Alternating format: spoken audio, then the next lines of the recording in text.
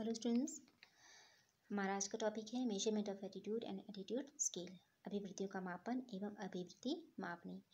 This topic is from and second assessment of affective learning जिसके अंदर complete करेंगे हम first topic attitude this topic we will cover in two parts part one and part two let us see the points that we will cover in this topic, introduction, components of attitude attitude dimensions of attitude scale thurston scale, and likert scale.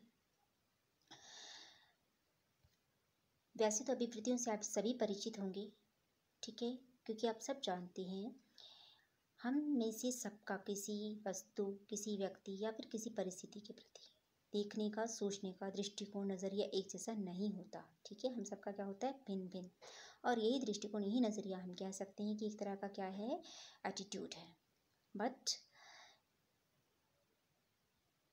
ऐसा माना जाता है the word attitude has been derive from Latin word aptus which means ability जो attitude word है, इसकी उत्पत्ति किससे हुई है? लैटिन शब्द एप्टस से, जिसका अर्थ क्या है? योग्यता। or we can say that attitude is an established way of thinking or feeling, reflecting in a person's behavior towards other. कि जो एटीट्यूड है, वो किसी भी व्यक्ति के व्यवहार में दूसरों के प्रति सोचने का फील करने का क्या क्या नज़रिया है उसका ठीक है? वो उसके प्रति अपनी प्रतिक्रिया किस तरह से शो करता है ठीक है? उसे हम एटीट्यूड कहते हैं। It is a tendency to respond positively or negatively towards a certain idea, object, person और सिचुएशंस और ये किस तरह की टेंडेंसी है? इसकी प्रवृत्ति क्या है? किसी भी विचार किसी भी वस्तु किसी भी व्यक्ति किसी भी परिस्थिति के प्रति अपना सकारात्मक या नकारात्मक रिस्पॉन्स देना। ठीक है? तभी हम लोग किसी के प्रति नेगेटिव एटीट्यूड रखते हैं, किसी के प्रति हम पॉजिटिव एटीट्यूड रखते हैं okay it influences a person choices of action और ये अभिवृत्तियों का ही परिणाम है कि किसी व्यक्ति की, किसी की जो उसके कार्य करने की प्रति जो चॉइसेस हैं, ठीक है? कार्य करने का जो डिसीज़न है, ठीक है? उसको ये बहुत प्रभावित करता है। ठीक है?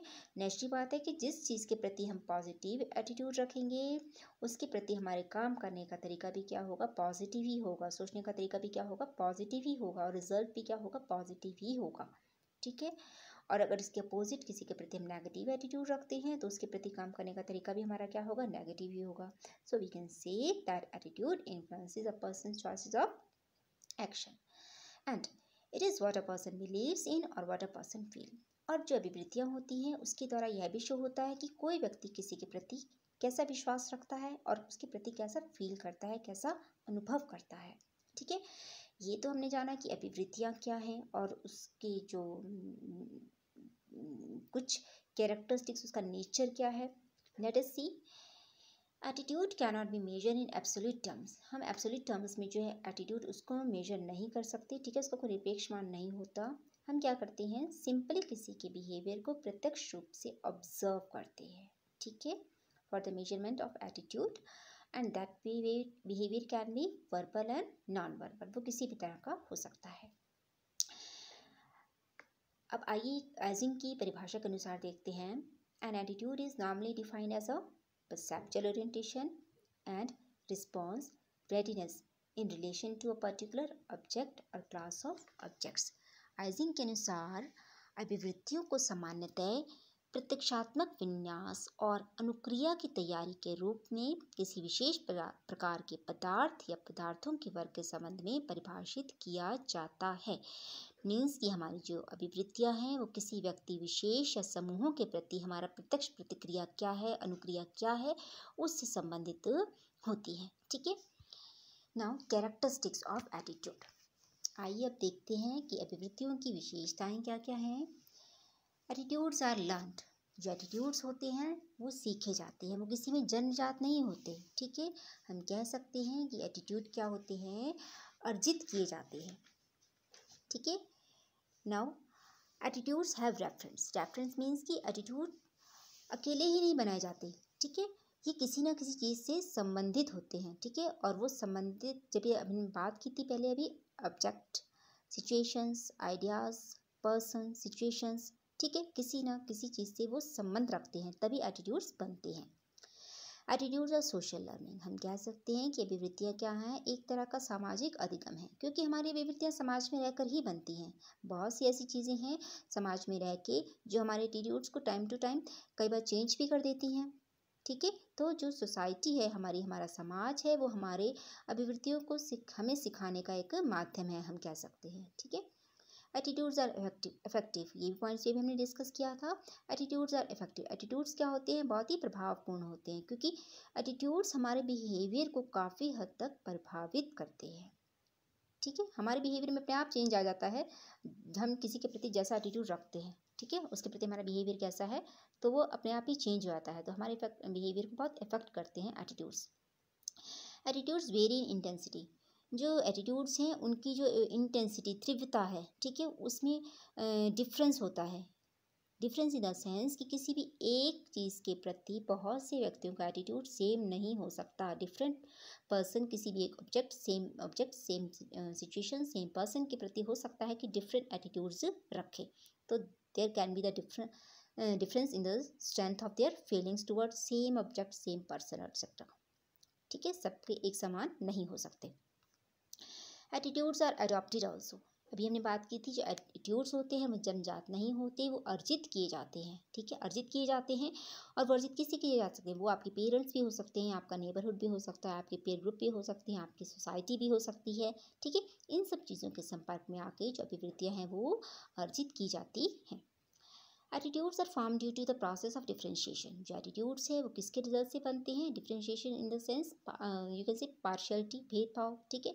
और भेदभाव के रिज़ल्ट से ही बनते हैं, क्योंकि तभी हमारे एटीट्यूड है, वो हर एक के प्रति क्या होता है? डिफर होता है सेम नहीं होता है, ठीक है? Some attitudes are form due to some shock और ट्रेजिडी कुछ अभिवृत्तियाँ ऐसी भी होती हैं, जो किसी आघात या फिर किसी ट्रेजिडी के फलस्वरूप बनती हैं। Attitudes are in fact in fact in the sense कि जो अभिवृत्तियाँ हैं, वो एक कंक्लूजन के रूप में होती हैं, ठीक है?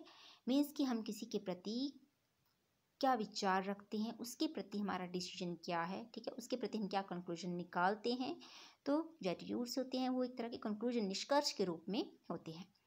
एटीट्यूड्स आर कॉम्प्लेक्स जो अभिवृत्तियाँ होती हैं उनकी प्रकृति क्या क्या होती है? जटिल होती है, ठीक है? सरल नहीं होती। Now the structure of attitude अब आइए देखते हैं कि एटीट्यूड का स्ट्रक्चर क्या है। इट हैज़ थ्री कंपोनेंट्स अभी हमने बात की थी इसके कंपोनेंट्स के बारे में। इसके थ्री कंपोनेंट्स होते हैं अफेक्टिव कंपोनेंट द फीलिंग्स और इमोशन टुवर्ड्स ऑब्जेक्ट किसी के भी प्रति, किसी की फीलिंग्स क्या है, उसके भाव क्या है। ठीक है? फॉर एग्ज़ाम्पल जैसे आप एग्ज़ाम्पल देख रहे हैं I am scared of spiders मुझे स्पाइडर्स से डर लगता है। ठीक है? तो ये क्या है आपका? इफ़ेक्टिव कंपोनेंट ठीक है? कि उसका आप आपको डर लगता है, ये आपके मन का भाव है कि आप उसके प्रति कैसा फील कर रहे हैं, ठीक है?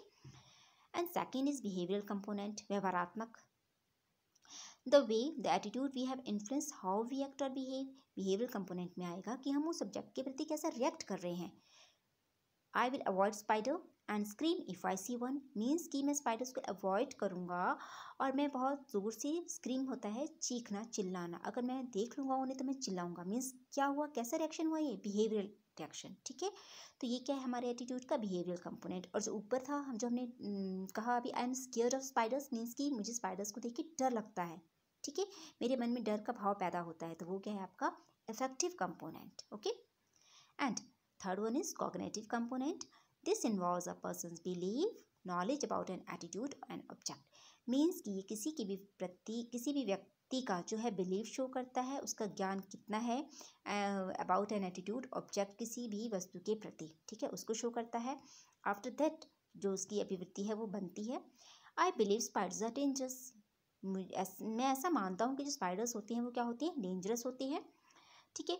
मीन्स कि अगर हम पीछे वाले पॉइंट्स को देखें तो ये उनका आधार है, ठीक है? मीन्स कि उसे उस चीज़ के बारे में सब्जेक्ट के बारे में नॉलेज है कि एक्चुअल में जिस चीज़ से वो डर रहा है या फिर जिस चीज़ के लिए भी वो बोल, बोला चाह रहा है कि मैं उसे देखूँगा तो मैं उसे अवॉइड करूँगा, मैं चीखूँगा ठीक है ना? तो उसके पीछे रीज़न क्या है?